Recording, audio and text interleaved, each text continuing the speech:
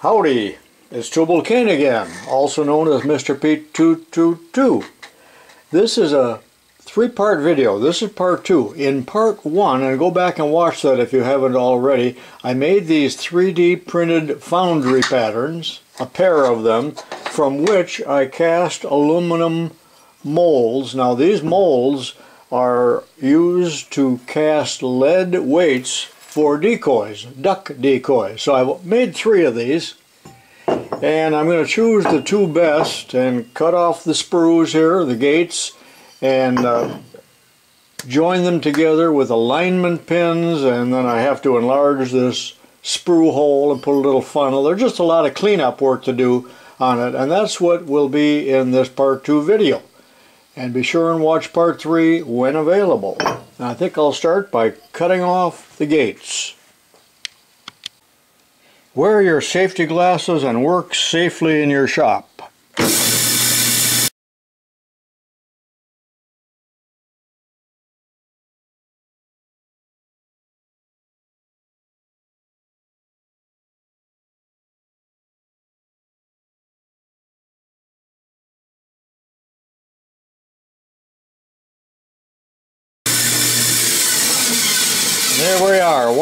Two, and three, and now I'll do a little uh, band sanding. There's something I missed.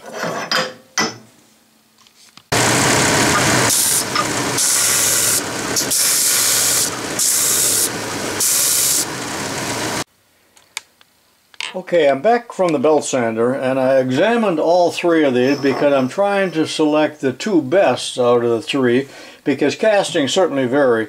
And this particular one here, I don't know why, but there is a bit of warpage.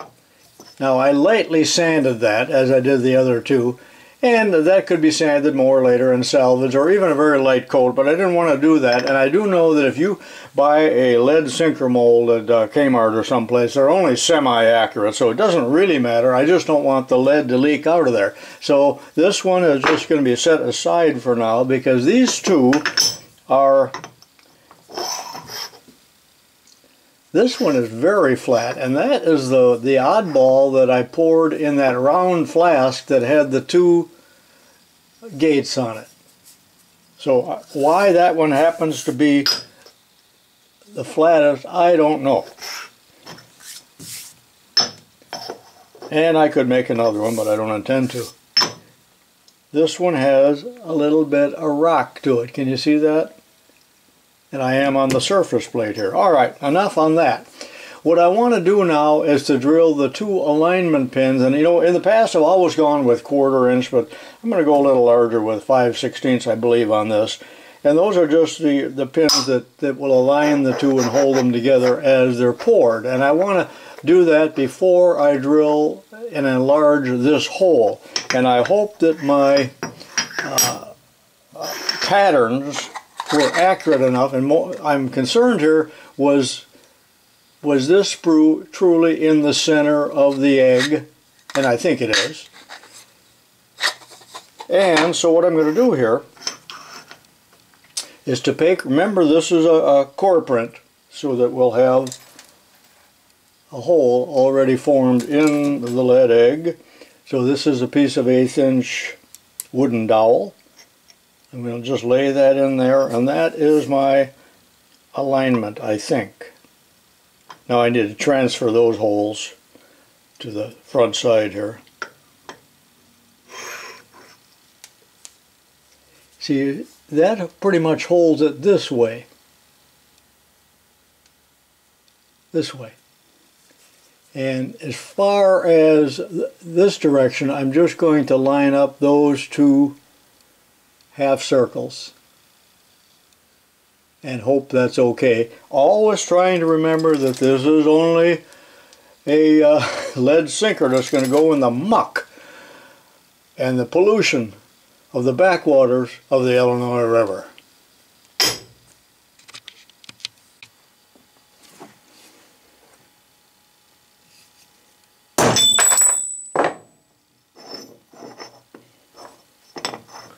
Should have used a brass hammer.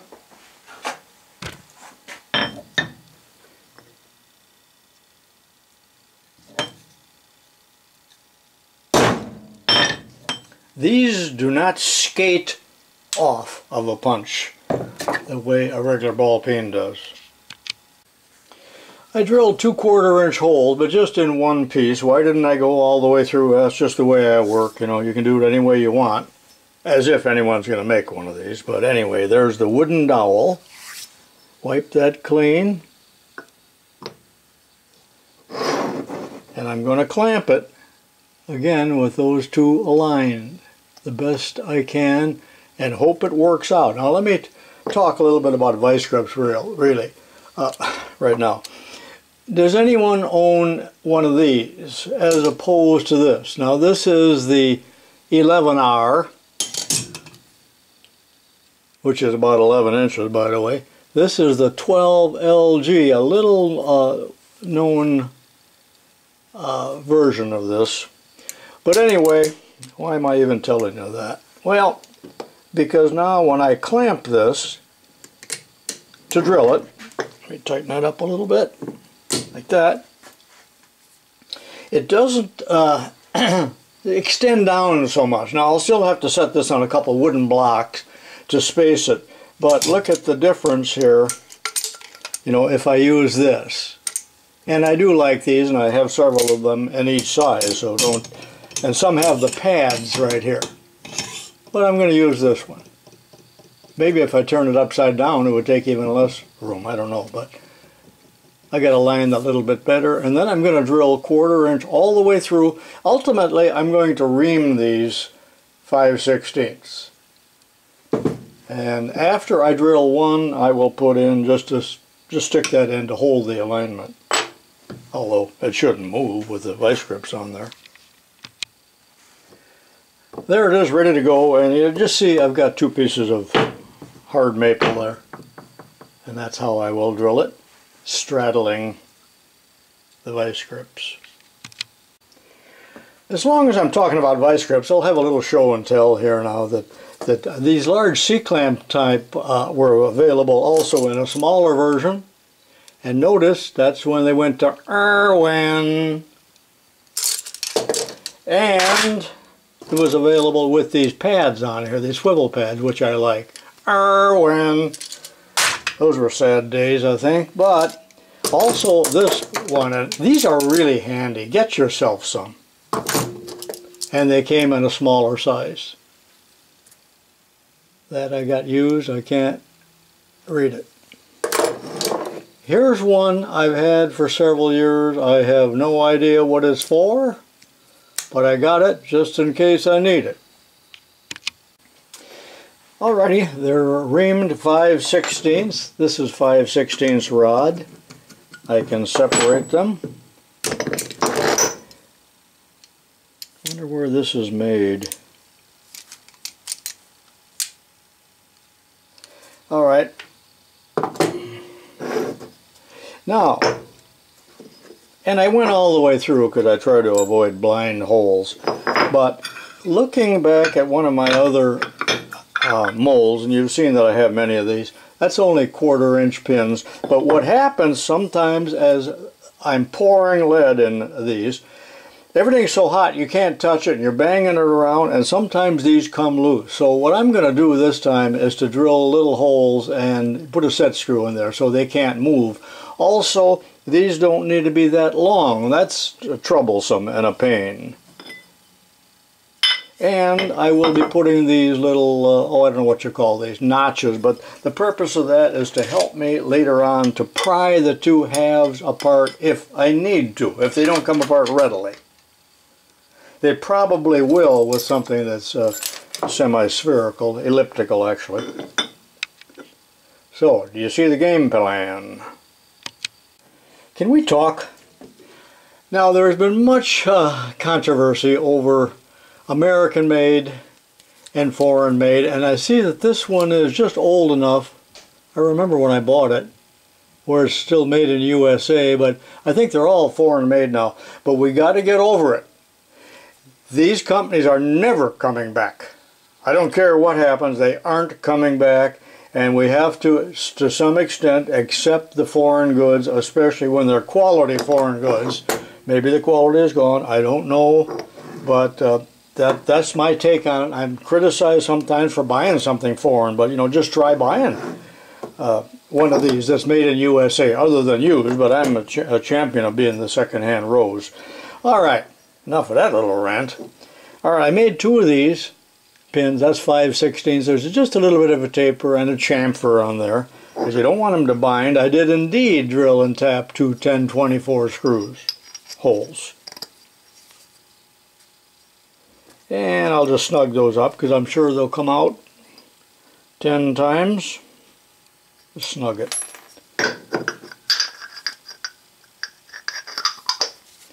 And do they go together? Yeah, they do.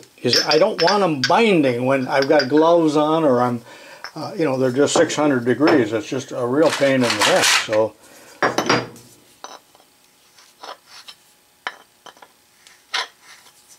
All right, it's starting to shape up. I think the next thing I will do is to go over to the milling machine, but it could be done in the in the drill press too, and re-drill these holes. Now, what size? What size? I have decided 3 eighths, and I'm not going to go all the way into the egg. I'm going to go about this deep why? Because I want uh, the metal to flow in fast. I don't care if it's neck down a little bit because then in the end, when I saw it off, there's less to saw and a file, and it does not have to be uh, very, uh, very well done, very smooth. It just doesn't matter on a weight. If you've ever examined a sash weight, how many of you know what a sash weight is? You'll be amazed at how crude they are because it didn't matter. There was no need to refine them. So I'll put this over in the mill, or maybe I'll do it in the drill press. I haven't decided yet, but I'll, I'll put these together like that. And I'll mark this or, or set my depth stop and, and drill it. I'm going to do that right now. I decided to use the drill press.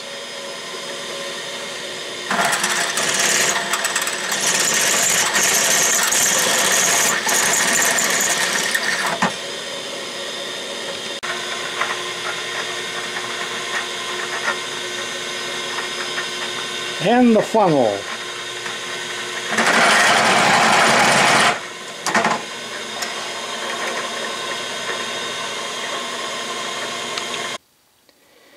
Well, I'm making progress here, and that's what it looks like when I drilled the, uh, the 3 8 hole just a little bit of deburring to do. And I did talk before about maybe later on I will need to clean this up a little bit with abrasive because it, remember it was 3D printed therefore the layers and I did it in a rather coarse uh, version you know so so it printed fast so it's, it's not very good this I, I, mentioned in the other one, I probably should have filled that a little bit, smeared some body putty, but I didn't.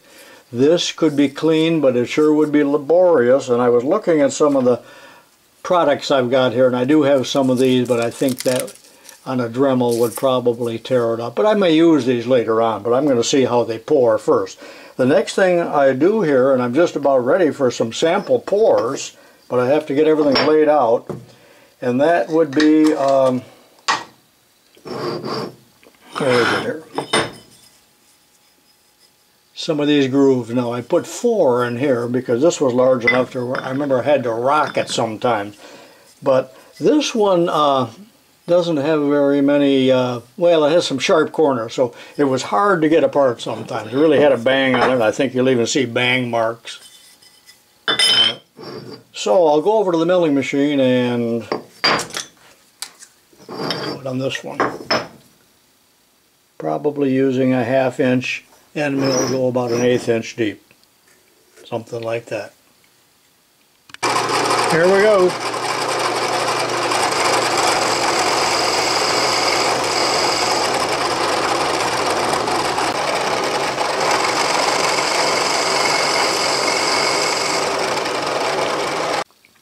Next, while I'm still at the Bridgeport, I'm going to mill off the bottom so it'll set flat. In other words, we still have pattern draft on there, which isn't uh, needed right now. I don't care about the other three sides, so I'll just mill this off reasonably flat, and uh, I think the job is done.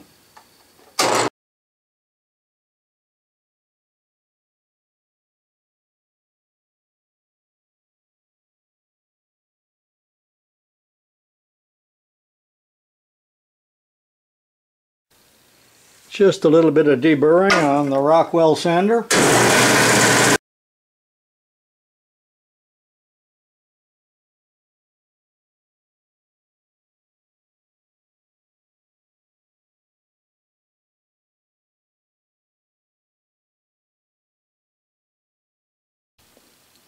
Alright, that concludes this part 2 video, going from this to this to what I hope is the finished mold. Now join me next time in the uh, third episode of this series where I take this for a test rides, see what it, uh, how it does, and uh, do I need to make some modifications or is it ready to, to use as is. So hope you enjoyed it. And this method of what I've showed you here could be uh, used to make uh, lead sinkers for fishing or you know just a lot of other things as well. Even tin soldiers if you got the know-how in uh, Fusion 360 so uh, thanks for watching and be sure and watch Tubal-Cain in his further adventure so long for now